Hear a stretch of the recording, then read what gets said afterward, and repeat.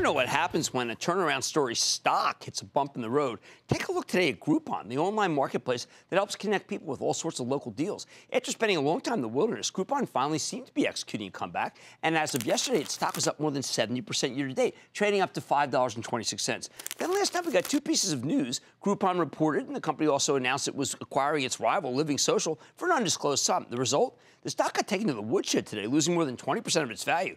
What was so bad about the quarter? Well, it, actually, frankly, it's a little hard to say. Groupon's top line and bottom line numbers were both slightly better than expected. Company's growing its user base and rationalizing its global footprint. However, the Living Social deal will make it harder, maybe, to, for them to turn a profit, at least in the near term. Uh, I think the real reason the stocks got hit today is that it had run up dramatically going into the quarter. In other words, it was priced for perfection, and what we got was merely good. So, should we view this pullback as a potential buying opportunity, or do we need to worry that maybe the turnaround's losing steam? Let's check in with Rich Williams. He's the CEO of Groupon and the architect of the recent turn. Get a better sense of the results and where the company's headed. Mr. Williams, welcome to Mad Money. Good to see you, sir. Good to see you. Thanks for having me. I mean, you heard what I just said. I mean, honestly, I spent most of the day trying to figure out what everybody yeah. hated about yeah. it, and I decided that there wasn't anything everybody hated about it, except for the fact that it had gone up a lot, and people yeah. thought, you know what, this is time to be able to ring the register. I mean, your, your guess is as good as mine on that one. I, I you know, I, I, looked at it. It's been a little bit confusing. I think we had a we had a strong performance. I think, mm-hmm. you, as you said, and the, the fundamentals in the business are, are showing great progress.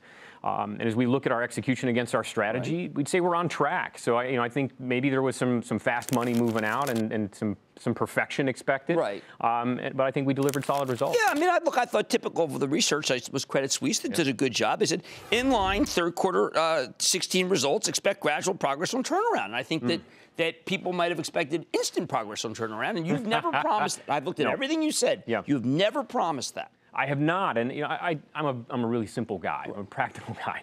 Most people that set out on the magnitude of change that we set out end up having conversations about roads to recovery that are years long. Right. And you know, when we set out, we said this wasn't going to be instant. It's mm-hmm. not going to be simple. But in that in that path, we've also delivered now four quarters of really steady progress. I mean, you look at our North American right. local business, our core business accelerating over the last three right. quarters. And I'd say, you know, most people, again, in that space of saying this is going to take a while, we've said it's going to take a while, but you're going to see progress along the way. So okay. we've been clear about that. All right. Now, you made the acquisition of Living Social. Yeah. I, I you said, I think pretty much when I asked you this, that it, it undisclosed sum, but yeah. it, to some that was rather radical. But I think yeah. the more radical thing was to be able to sell some things that you owned or mm. shut things that you owned, and that Living Social actually fits into your core mission. Yeah. Yeah, I, I agree with you. I, you know, when, when uh, when I took over the job uh, now a year ago, I, I basically said, "Look, we're going to do four things. We're going to simplify our lives." And that one of that one of those you things. You did have a lot of stuff that was hard. We had understand. a lot of stuff. Um, one, and one of those key strategic pillars was simplify and streamline the business, and that meant removing some, some businesses that weren't core. Okay. Um, and when we did that, we also said we're going to continue to be opportunistic on M&A. We're not going to, we believe we can do both. We believe right. we can be smart operators and, and also acquire companies as long as they pass a very high bar.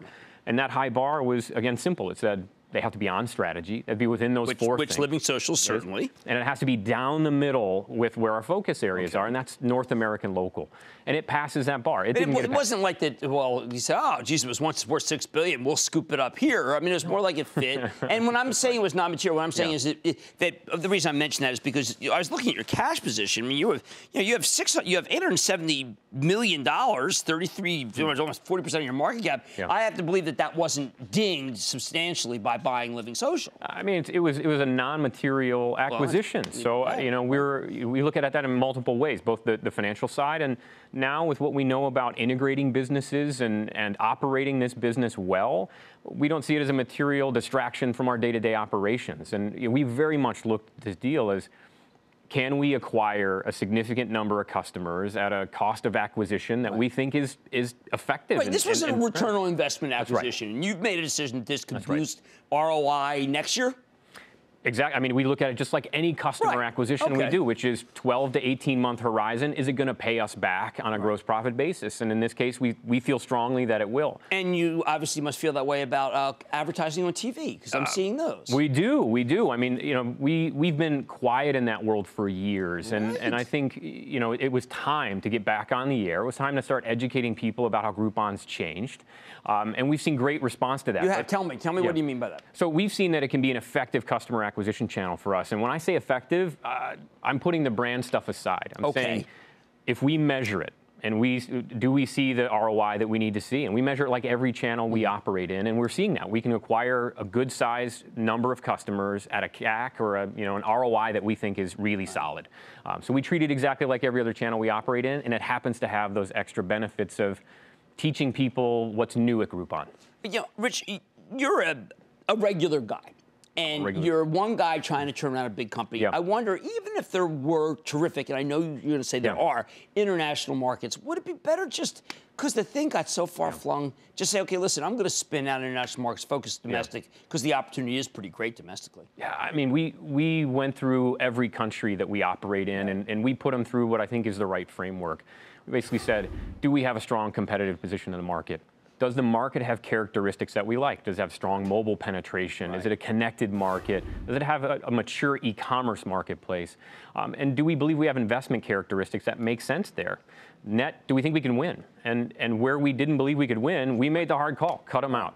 Where we are now, we think we have a good winning formula. we we believe they can support investment long term and they can be good, solid businesses. Okay, uh, one last question. Uh, It, it's really unnerving when I mentioned Groupon. You know, I said I I think they've bottomed. They made the joke Yeah. to David. I said, no, David, I think they have bottomed. Uh, the, the, people mainly said, Jim, uh, Google Yeah. could Google, Google could wreck them in a day. They, Yeah. they put them out of business a day. What do you do when you, when you hear that? Like, oh, I think I just wipe them out in a day. You know, I hear that all the time. Um, Right? I mean, that's the rap. I I hear at least I hear that in, in you know the media in the Right. media side. I don't really hear that from customers. But I, I think that the big thing you have there is is context. And, and I think it's the challenge that you have with Google. We, you know, we or anyone else that has a different kind of context. Mm-hmm. People go to Google to find stuff. People go to Groupon to buy locally. Right. And you know, it's a different animal. Now we don't have their scale. We're acquiring scale as fast as we possibly can. But when people think of Groupon, they think, I'm going to go find a great restaurant. I'm going to go find a great spa. I'm going to do something with my kids this weekend. I'm going to save a ton of money.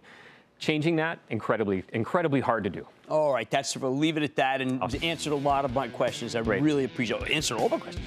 That's Groupon CEO Rich Williams. I think his stock is really interesting down so badly today because there wasn't anything in it that should have made it go down like that. Mad Money's back the break. Booyah! Jim Cramer here from Mad Money. Thanks for watching CNBC on YouTube. Click here to subscribe and get the jump on my exclusives with CEOs, plus market news, investing advice, and a whole lot more.